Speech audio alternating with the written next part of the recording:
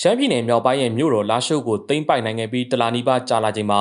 ကိုကန့်တဲ့ MND ကအုပ်ချုပ်ရေးရန်ရနဲ့ကျမကြီးဝန်ဆောင်မှုတွေစတင်လဲပတ်နေပြီးမြို့နယ်လူထုနဲ့လည်းတွစ်ဆုံပွဲတွေဇက်တိုက်လုပ်နေတယ်လို့ဒေသခံတွေစီကနေသိရပါဗျ။လက်ရှိမှာတော့လက်စင်မီပြန်အပ်ဖို့ကိုကန့်တဲ့အုပ်ချုပ်ရေးအဖွဲ့တွေကပြင်ဆင်နေကြသလိုဆက်သွယ်ရေးအတွက်မြို့နယ်ရတချို့မှာလည်းမိုင်းတဲဖုန်းလိုင်းပြန်ရနေပြီလို့ဩဂုတ်လ17ရက်နေ့ကစတင်ပြီးလာရှိုးမြို့မှာပြန်လည်နေထိုင်နေတဲ့အမျိုးသမီးတူကပြောပါတယ်။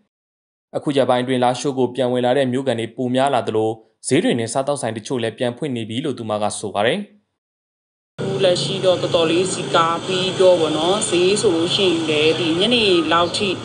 အဖွင့်တဲ့ ဟာမျိုးတွေလည်းရှိလာပြီပေါ့နော်ပြည်သူတွေကတော့တော်တော်များများရောက်လာကြတယ်ပေါ့တချို့နေတဲ့လူတွေလည်းပြန်များလာတယ်ပေါ့နော်ပစ္စည်းတည်တဲ့လူတွေလည်းများလာတယ်ပေါ့ကွက်အလိုက်တွေတော့သူတို့ကင်းလဲတာတွေလည်းရှိရပေါ့နော်ဟုတ်အဲတချို့ wifi တို့တက်ပြီးတဲ့နေရာ Starlink ပေါ့နော်တက်ပြီးတဲ့နေရာတွေတော့နေရာရွေ့ပြီးတော့သွားပြီးနေရာတော့အခုထိရှိနေသေးရဲ့ပေါ့။ကိုကန်တက်ဦးဆောင်တဲ့မဟာမိတ်တော်လိုင်းတက်တီဟာလာရှိုးမြို့သိမ်းတိုက်ပွဲကိုဇူလိုင်လ3ရက်နေ့မှာစတင်ခဲ့တာဖြစ်ပါတယ်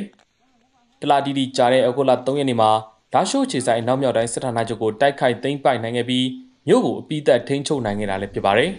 ။အခုဆိုရင်လာရှိုးကိုဝင်ရောက်လာနိုင်တဲ့လမ်းမကြီးအများစုလည်းပွင့်နေပြီဖြစ်ပြီးတော့လာရှိုးနံပါတ်2ကားလိုင်းလည်းပြန်လည်ပြေးဆွဲတော့မယ်လို့သိရပါတယ်။တစ်ဖက်မှာလည်းလေကြောင်းနဲ့လုံခြုံရေးအခြေအနေတွေကြောင့်ကိုကန့်တက်ကညမထွက်ရအမိန့်ထုတ်ထားပြီးဩဂုတ်လ19ရက်နေ့ကစစ်ကောင်စီရဲ့ကင်းထောက်လေရင်မြို့ပေါ်မှာဝဲနေတာကိုတွေ့ရတယ်လို့မြို့ကန်တွေကပြောပါတယ်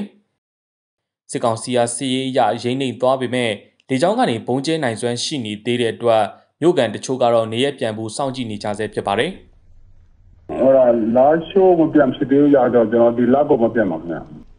ဟိုအပေါ်တော့လူတွေလူတွေရှိရောနည်းနည်းစီကြောမပြန်မစရာ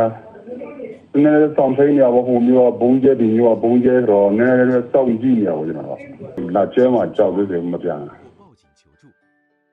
ကိုကတ်တဲ့ MNDA ကဖွဲ့စည်းထားတဲ့လာရှိုး area CA အုပ်ချုပ်မှုကော်မတီအဖွဲ့ဟာလာရှိုးကရက်ကွက်3ရက်ကွက်6ရက်ကွက်9ရက်ကွက်10နဲ့9တို့မှာဩဂုတ်လ18ရက်နေ့နဲ့19ရက်တွေမှာလူလူတွစ်ဆုံပွဲတွေလုပ်ခဲ့တယ်လို့ MNDA တပ်ဖွဲ့ကသတင်းဖော်ပြထားပါတယ်။ဒေသခံတွေစိုးရိမ်နေကြတဲ့စစ်မှုထမ်းမှုကိစ္စနဲ့လူသစ်စုဆောင်းတာတွေလုပ်နေတာမရှိဘူးလို့လည်း MNDA တပ်ဖွဲ့ကဆိုပြီးစစ်ဆောင်ဒေသခံတွေနေရပြန်လာနိုင်မှုမျှော်လင့်တယ်လို့ဆိုပါတယ်။